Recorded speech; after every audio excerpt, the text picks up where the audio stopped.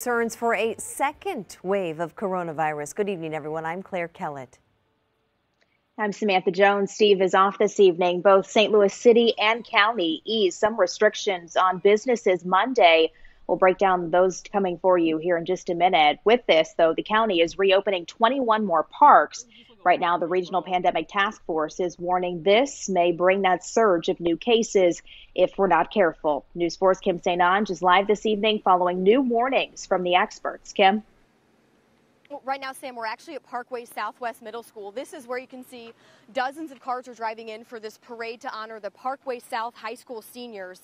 Tonight, the St. Louis Pandemic Task Force is stressing we need to continue efforts like this, making sure there is community spacing and distancing. New analytics are concerning the task force as we move to reopen the county and city Monday.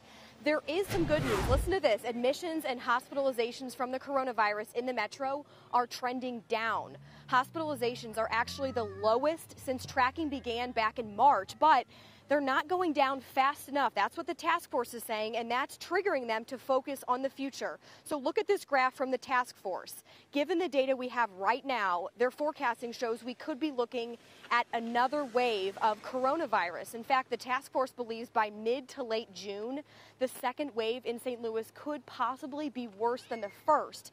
Again, at this hour, this is just a prediction, but given some other states that have already been reopening in the last couple of weeks, there have been some surges in cases. Here's Task Force Commander Dr. Alex Garza. We're, we're always concerned whenever you're taking your foot off the brake. What is this going to look like? How should we be preparing for it?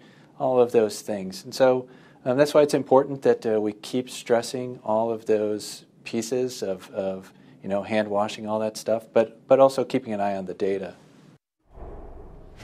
Again, this evening's new prediction is just that. Your help is needed to keep bringing down the number of cases. Last week, News 4's exclusive tracking did find a 10% drop in cases here in the St. Louis area. Live in West County, Kim St. Onge, News 4.